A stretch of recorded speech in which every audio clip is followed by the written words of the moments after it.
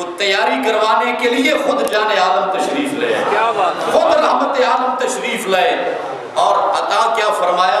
لباب دہن عطا سبحان اللہ سبحان اللہ۔ جس کی عظمت سے کون واقف نہیں ہے۔ واہ واہ۔ وہ لباب دہن جو کڑوے کنوں کو شفا والا بنا دے۔ سبحان اللہ اور دکھتی ہوئی آنکھ میں وہ لباب دہن آ جائے بیماریاں بھی دور۔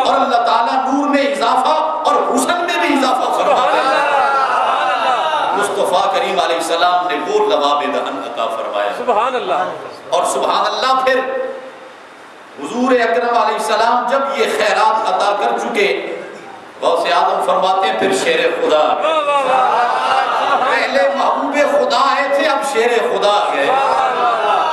انہوں نے بھی فرمایا ہے میرے چاند اے میری آنکھوں کی ٹھنڈک نور عین عبد القادر جیلانی گھبرائے گھبرائے لگتے ہو پریشان لگتے ہو کیا وجہ ہے؟ عرض کی ہے میرے ابا جان آج مجھے جامع بغداد میں جہاں ولی جلوہ فرمائے غوث جلوہ فرمائے زمانے کے اغواس و اقتاب جلوہ فرمائے وہاں اظہار خیال کرنا ہے فرمایا میرے قریب آ اللہ۔ مجھے- مجھے سینے سے لگایا اور چھ مرتبہ لباب دہن عطا فرمایا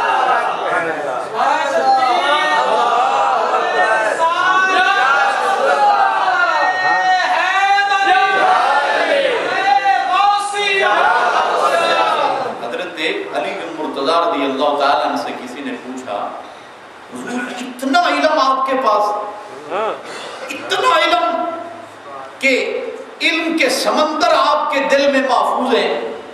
آپ نے بڑی محنت کی بڑی توجہ اور کئی راتیں جاگ جاگ کے آپ نے علم حاصل کیا۔ فرمایا کوئی لمبی چوڑی مشقت نہیں کی۔ اللہ۔ کوئی میں نے رٹے نہیں لگائے کوئی میں نے دورے چورے کیے حضور پھر یہ اتنا علم کہاں سے آ گیا فرمایا میں نے مصطفیٰ کریم کو غسل دیا اللہ نبی پاک صلی اللہ علیہ وسلم کا جب وصال مبارک ہوا میں رسول پاک کو غسل دے رہا ہوں غسل کے بعد پانی کے کچھ قطرے حضور کی آنکھوں پر جمع ہو گئے میں نے جھوک کے وہ نور کے قطرے پی لیے اللہ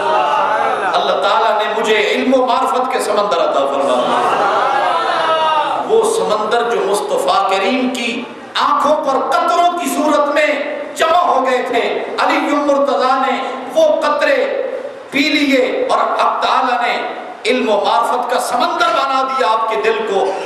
آج وہی خیرات جامع بغداد میں۔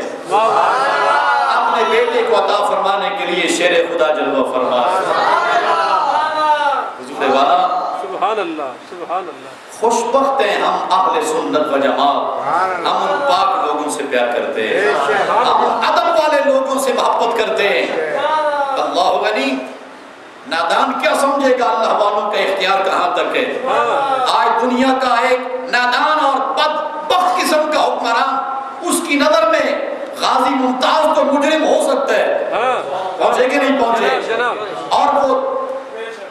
امریکی کتا اس کی نظر میں یقیناً بڑی عزت والا ہوگا۔ خاک اس حکمران کے منہ میں نادان اس سے بڑا کوئی نہیں ہوگا اور گمراہ اور انتہائی بد نصیب اس سے بڑا کوئی نہیں ہوگا۔ مصطفیٰ کریم صلی اللہ علیہ وسلم کی عزت کا پیرا دینے والا اس کی نظر میں مجرم ہو اور مسلمانوں کا قاتل اس کی آنکھوں کا تارا ہو۔